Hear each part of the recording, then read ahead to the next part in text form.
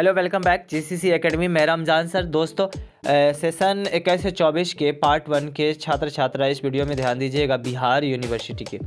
इस वीडियो में मैं बताऊँगा कि आप लोग का जो है ना पार्ट वन का रिज़ल्ट कब आएगा। एग्ज़ाम जो है रिटर्न एग्ज़ाम पूरी तरीके से समाप्त हो चुकी है। बस आपको ओनली अब प्रैक्टिकल एग्ज़ाम का डेट अभी रह गया है। एग्ज़ाम अभी होना बाकी है। तो बहुत सारे बच्चे कमेंट कर रहे थे कि सर मेरा पार्ट वन का जो है ना रिज़ल्ट कब आएगा? सर एक आप वीडियो के माध्यम से समझा दीजिए क्योंकि हम लोग का एक डाउट बना हुआ है। ठीक है? तो देखिए मेरे दोस्तों आप लोग घबराइए नहीं। पहले आप लोग का जो है ना प्रैक्टिकल का एग्ज़ाम हो जाएगी उसके बाद ही आपको एक ए, कुछ डेट का पता चलेगा कि कब तक रिज़ल्ट आएगी। वैसे संभावना के तौर पे यहाँ पे अंदाज़ा लगा लगाया जा सकता है।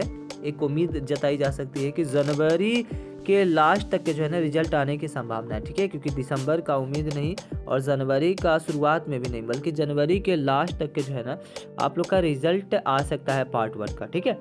वैसे जितना जल्दी प्रैक्टिकल का एग्ज़ाम हो जाएगी, उतना जल्द आप लोग का रिज़ल्ट आ जाएगा, ठीक है? कॉपी जो है ना चेकिंग हो रहा है कॉपी जो है ना चेकिंग में हो गया है तो हो रही है और कुछ ही कॉपी बची हुई है, लेकिन रही बात की प्रैक्टिकल एग्ज़ाम तो वैसे 10 तारीख 9 तारीख से एग्ज़ाम होने वाली थी 9 दिसंबर से, यानी कल से ही होने वाली थी, लेकिन कल से नहीं हो पाई, किसी कारण बस एग्ज़ाम को कैंसिल कर दिया गया है।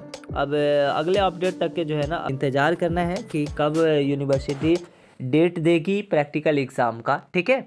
तो खैर आप लोग जो है ना चैनल को सब्सक्राइब करके रख लीजिएगा और ताकि आपको इस चैनल पे हमेशा अपडेट मिलती रहेगी, जो भी इन्फॉर्मेशन आएगी यूनिवर्सिटी की तरफ़ से।